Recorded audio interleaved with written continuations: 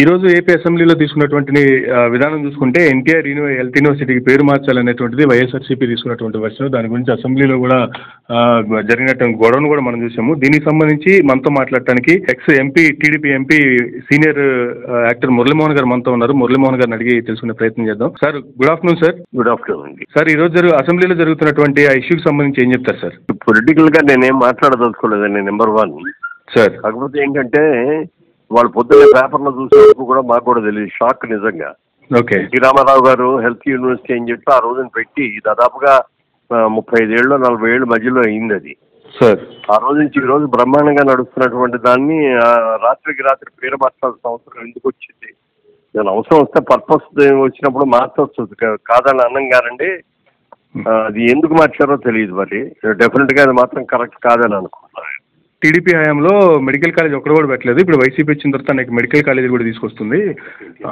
అప్పుడు ఎందుకు పెట్టలేదు? ఇప్పుడు మారితే తప్పేంటి అనేటువంటిది. పేరుతో ఉంటే రాదా మెడికల్ కాలేజీ తీసుకొస్తే పేరుతో వస్తుంది. ఒకసారి ఒక పెట్టి పెట్టిన తర్వాత ఆంధ్ర విశ్వవిద్యాలయం పెట్టారనుకోండి ఆ యూనివర్సిటీ ఆంధ్ర యూనివర్సిటీకి. ఇవాళ ఆంధ్ర యూనివర్సిటీ కాదు ఇంకో యూనివర్సిటీ అని పేరు పెడతానంటే దానికి ఏంటి పద్ధతి ఏంటి అసలు? పద్ధతి కదా అట్లా. ఒకసారి పెట్టిన తర్వాత అంతే. భారతదేశం అని పెట్టాము. భారతదేశం అని ఎందుకు పెడతారు? భారతదేశం కాదు హిందూ దేశం అని పెడతాను అని మరుతానంటే కుదురుద్ది అది. డెఫినెట్గా మాత్రం అది కరెక్ట్ కాదని అనిపిస్తుంది నాకు. ఓకే నేను ఖండిస్తున్నానండి.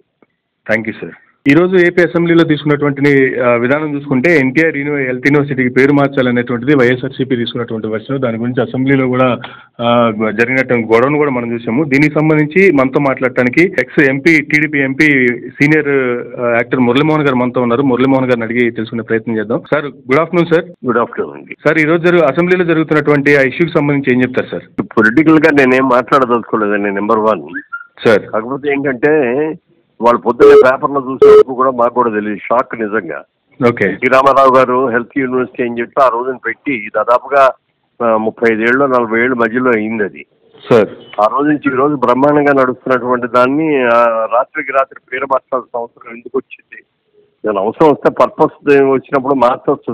కాదని అన్నం కానండి ఆ, అది ఎందుకు మార్చారో తెలియదు మరి. డెఫినెట్గా అది మాత్రం కరెక్ట్ కాదని అనుకుంటున్నాను.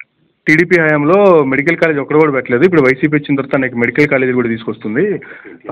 అప్పుడు ఎందుకు పెట్టలేదు? ఇప్పుడు మారితే తప్పేంటి అనేటువంటిది. పేరుతో ఉంటే రాదా మెడికల్ కాలేజీ తీసుకొస్తే?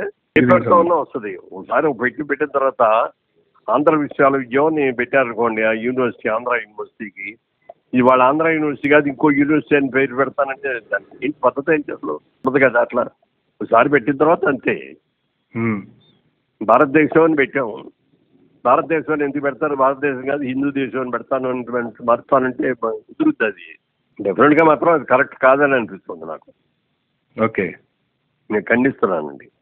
Thank you sir Please do subscribe Myra Media. Please subscribe Myra Media. Subscribe to Myra Media. Please like, share, and subscribe to Myra Media for a lot of film news, gossips, and hot hot news. Please like, share, and subscribe to Myra Media. For more interesting updates, please subscribe to Myra Media YouTube channel. For more updates, please subscribe to Myra Media. So like, share and subscribe to Myra Media.